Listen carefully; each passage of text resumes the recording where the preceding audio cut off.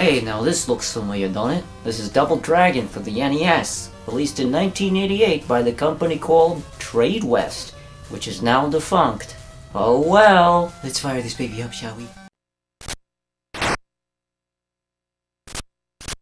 Oh, I get it now. Those guys were just a bunch of jerks who beat up a woman. He says no annoying garage noise. Let's see, what do we got here? Free flowing movement? No difficulty maneuvering? Tight controls? Well, I'll be doggone. This game is pretty slamma-jammin'.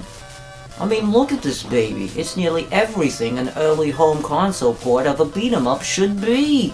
You got great combos, not a steep learning curve, increase in AI difficulty as you progress instead of right at the get-go like some other cockamamie versions out there, and the turbo button. Thank the good lord for the turbo button, if you take my meaning. I mean, sure, you gotta press the A and B buttons simultaneously to be able to jump, but it sure is a marked improvement over using the up button. That's right, grovel to your mommy. Cry like a little baby of the gender of your choice. Keep trying and dying, of course. You hooligans, you ruffians, you yabos.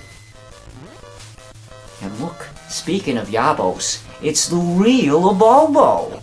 Not some um, albino ripoff that needs little cronies to protect him. And not only that, once you reach a certain number of points, you get even more variations to your techniques.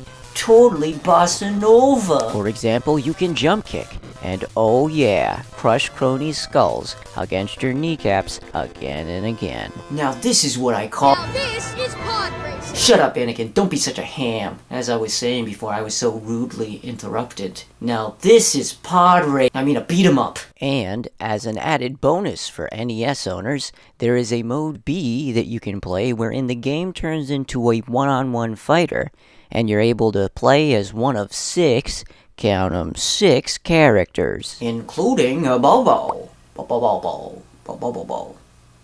Bobo Bobo. Bobo Bobo. Premiere Saturday, October 1st at 10.30. Doesn't make. Only Toonami. It's pretty limited in that you can only fight against a clone of yourself, and the handicap is stacked heavily in the computer's favor if you play against one. But overall, it's a neat little add on to an already slam a jammin' game. Well, I can tell you right now, you can't go wrong with this one, folks. A true classic. Feel uh, if you're feeling nostalgic and want to experience one of the greats, I say pick up a pick up. I say pick up a. I say pick up a copy at your local wholesale video game provider today. You work hard. You do a good job. You're nice to your customers. Why then must you suffer the headache of returns? Well, that's it for me. I got a jet. People to be, places to see.